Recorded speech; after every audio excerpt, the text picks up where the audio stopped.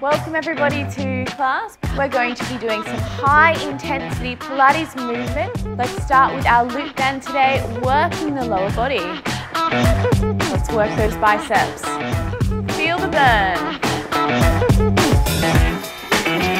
Picking up the pace, getting your heart rate up. That's it. Exhale to press away. Fantastic work. Keep up that energy. Keep going. We're going to work on stabilizing and strengthening your core today. Stay there, take nice deep breaths. And from here, we're going to pulse. Focus on your breath. Flexing, rounding through the spine. Well done.